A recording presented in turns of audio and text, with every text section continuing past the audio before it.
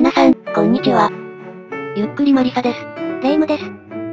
今回は、東京工業大学の後期日程を含む志願者数を、まとめました。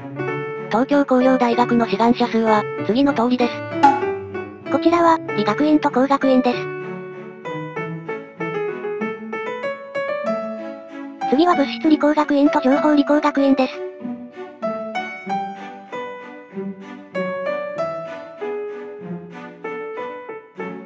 最後は、生命理工学院と環境、社会理工学院です。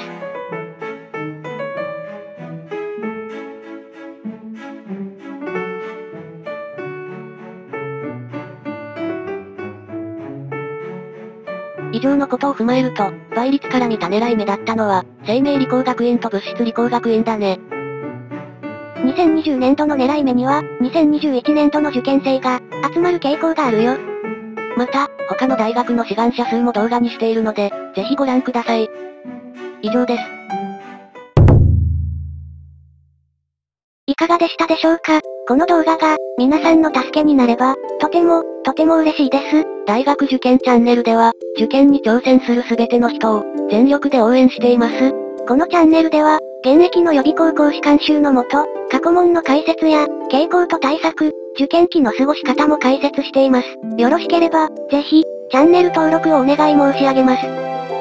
それではご視聴、ありがとうございました。